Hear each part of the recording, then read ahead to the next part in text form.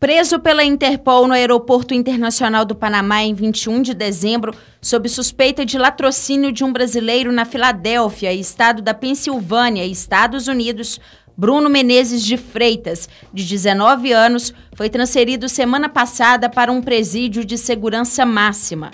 Os Estados Unidos pediram a extradição e, se isso ocorrer, lá o ipatinguense irá cumprir prisão perpétua sem direito a condicional. O jovem morava nos Estados Unidos havia três anos e foi detido quando fazia conexão de um voo que partiu do México para o Brasil. As circunstâncias do crime em que Bruno se envolveu são obscuras, mas o que se sabe é que, na companhia de outros dois brasileiros, ele foi assaltar um salão de cabeleireiro de outro brasileiro na noite de 1 de outubro de 2022. Um dos assaltantes atirou no cabeleireiro. Outro assaltante não gostou da situação e foi tomar a arma do comparsa. Nisso, um dos brasileiros que assaltava, de 18 anos, acabou morto, atingido por um tiro. O cabeleireiro, de 27 anos, também foi atingido e ficou paraplégico.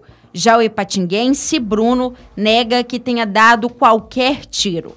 No estado da Pensilvânia, apesar de vigorar uma moratória a execuções capitais, pena de morte, o latrocínio é automaticamente considerado homicídio de segundo grau e recebe pena automática de prisão perpétua.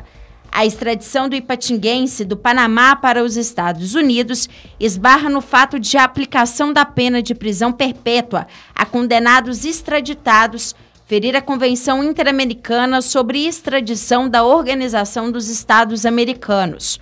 O acordo prevê que a extradição não deve ser concedida quando o crime for punido no país requerente, com pena de morte ou de prisão perpétua.